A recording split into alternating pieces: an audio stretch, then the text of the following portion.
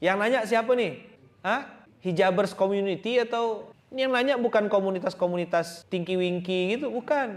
Yang nanya Aisyah, istrinya Rasulullah. Aku baca apa? Apa kata Rasulullah? Minta ampun. Sekelas Aisyah disuruh minta ampun.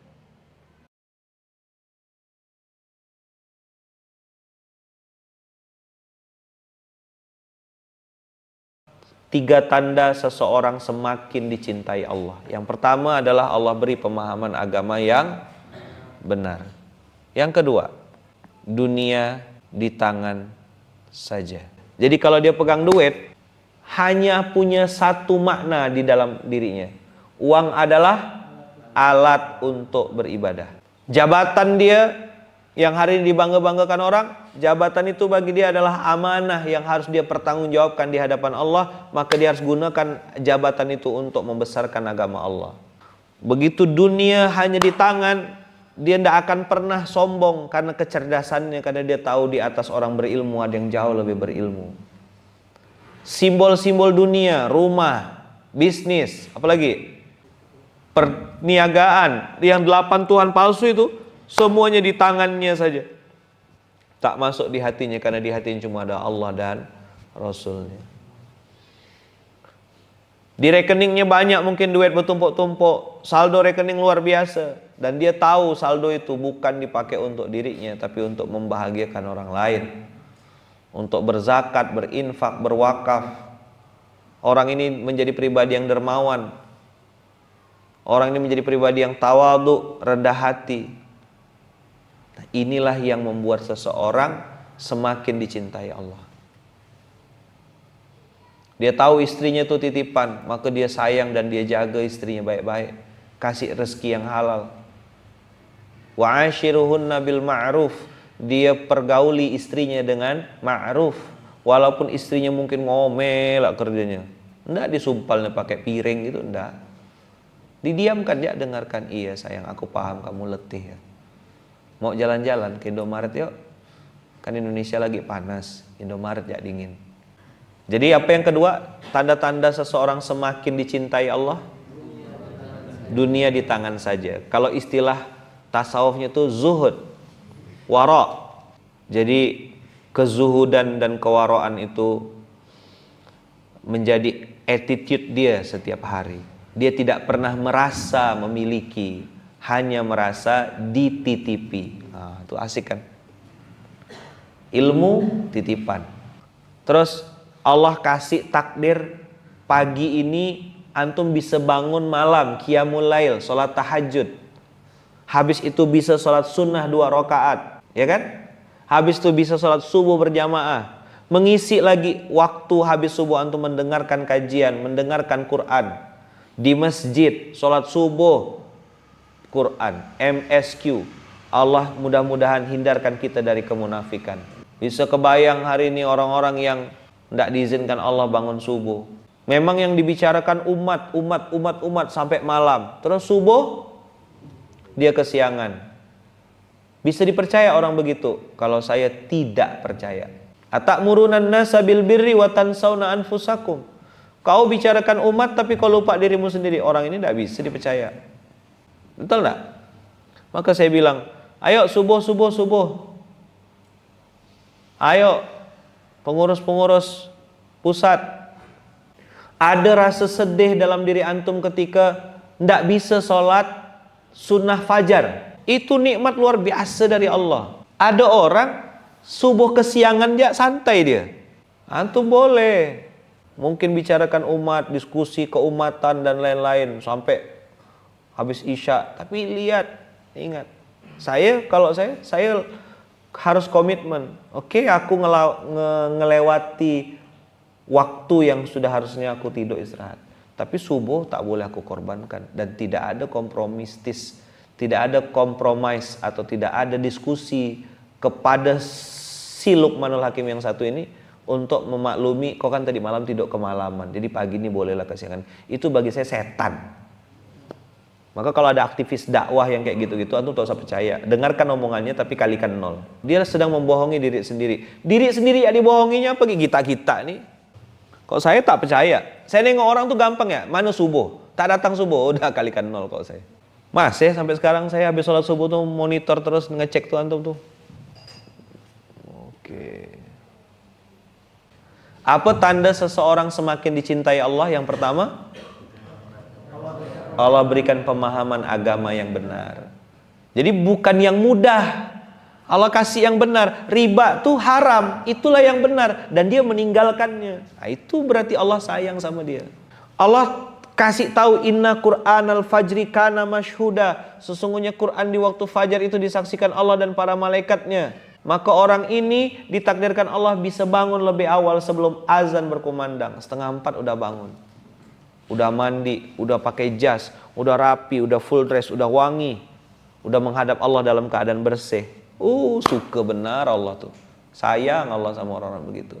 Tapi yang belum ingat SSB apa? Saya sedang berusaha.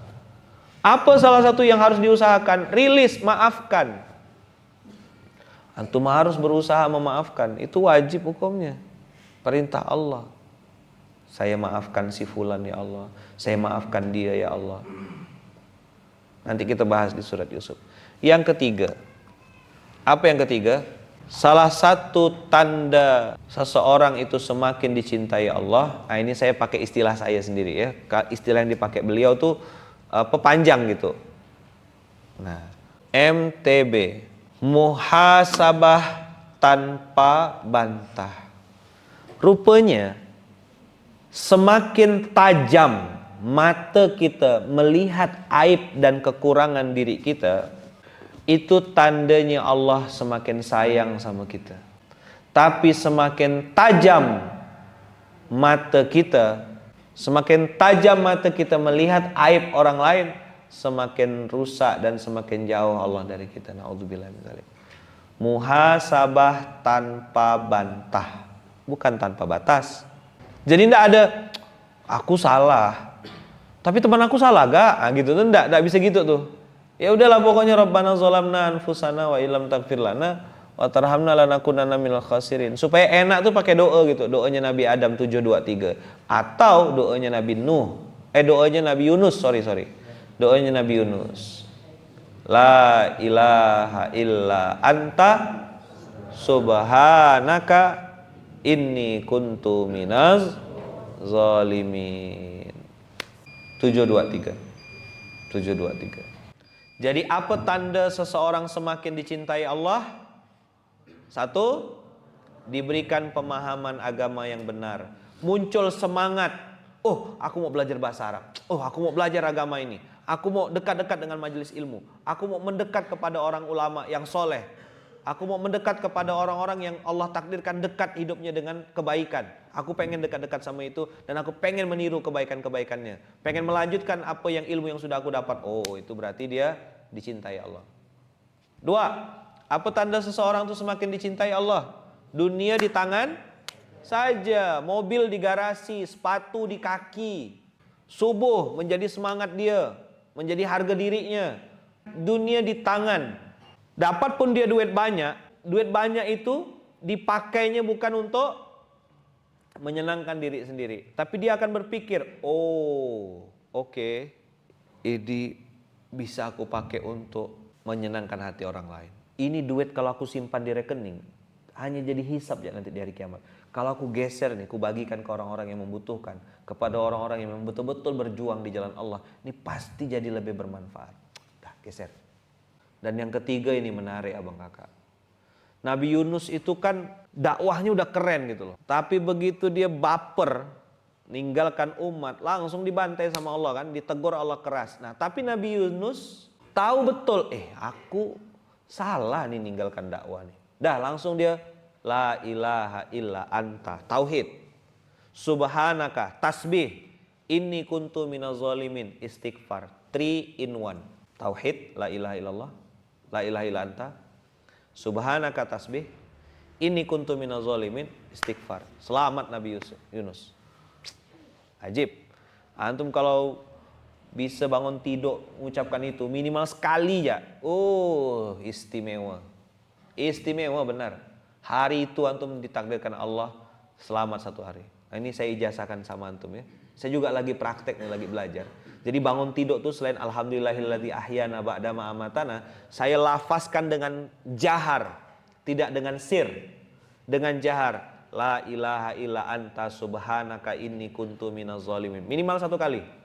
Lalu saya baca juga Rabbana zalamna anfusana wa illam taghfir lana wa tarhamna lanakunanna minal khasirin. Saya tutup dengan bismillahi tawakkalna 'alallahi. Kenapa tawakalna? Karena ada istri di samping saya, ada anak saya, ada anak saya di Mesir. Ada mama saya ada ini tawakalna saya luaskan doanya supaya kena kecipratan untuk istri saya anak saya keluarga saya dan seterusnya Untuk sebagai kepala keluarga bangun tidur tuh jangan megang HP lo Nah, muhasabah tanpa bantah MTB ini adalah sebuah kesadaran level tertinggi dari seorang hamba karena ini kesadaran para nabi. Kenapa Nabi Muhammad istighfar 70 kali? Ada yang mengatakan 100 kali. MTB kan? Nabi Muhammad tuh dijamin loh surganya, ngapa masih istighfar? Lah kita surga belum dijamin kok enggak mau istighfar gitu loh. Paham enggak kira-kira? Nyambung? Analoginya bisa diterima enggak kira-kira? Jadi kenapa Allah apa urutannya tuh muhasabah tanpa bantah ini diletakkan nomor tiga kan ini puncaknya. Jadi seolah-olah saya pengen sampaikan sama antum satu-satunya currency atau mata uang yang diterima di langitnya Allah itu cuma satu yaitu istighfar. Aisyah nanya, ya Rasulullah, kalau seandainya aku ketemu Lailatul Qadar, aku baca doa apa? Yang nanya siapa nih? Hah? Hijabers community atau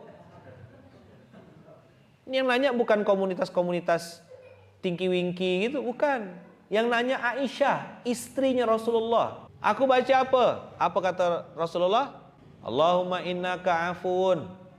Tuhibbul afwa fa'fu anni. Minta ampun. Sekelas Aisyah disuruh minta ampun.